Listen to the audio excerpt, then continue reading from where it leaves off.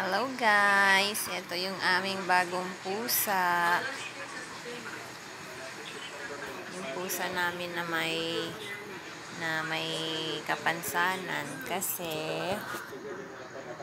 yung kanyang paa ay hindi siya normal.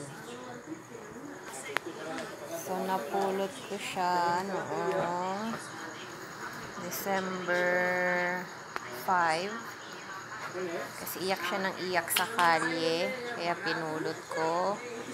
Pero hindi ko alam na isa pala siyang special cat.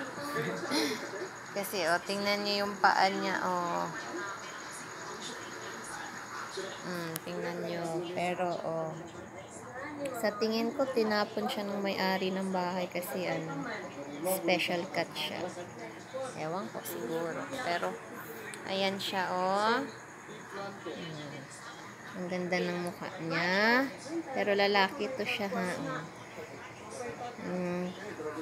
Pinapainom namin siya nung una ng gatas. Tapos ngayon, uh, kumakain na siya ng, nilulutuan ko siya ng egg.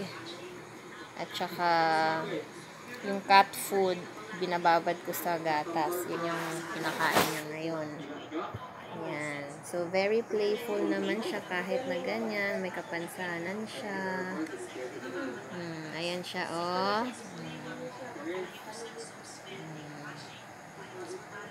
Hmm. Mabilis na rin naman siyang lumakad kahit na ganyan yung paa niya. Siguro nasanay na rin siya. Hmm, mabilis na rin siyang nakakarating sa kusina.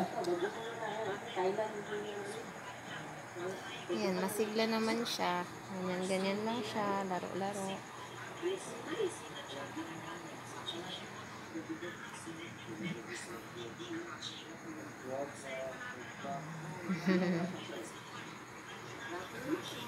Pangalan niya pala ay si Chow Chow. Kasi, tingnan niyo po yung mukha niya. Mukha siyang Chow Chow na aso.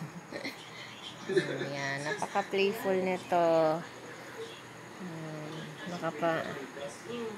Ayan, ganyan, ganyan na siya. O, tingnan nyo siya kung paano siya lumakad. Hmm. Tingnan nyo siya kung paano siya lumakad. Hmm. Pakita natin. Pakita natin paano ka maglakad.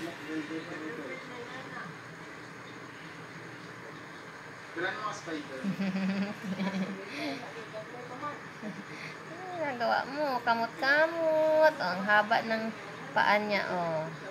Hmm. Hello. Eh, lakad ka din, lakad, lakad. Lakad, lakad, lakad. Ganito eh. Ganyan siya.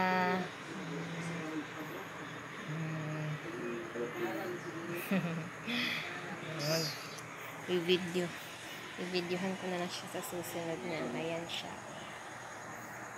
Okay, so yan po ang aming pusa. Ang pangalan niya ay si Chow Chow. Say hi. Hi, hi. Oh, parang sinasampal niya yung ulo niya. okay. Thank you for watching. See you. Bye.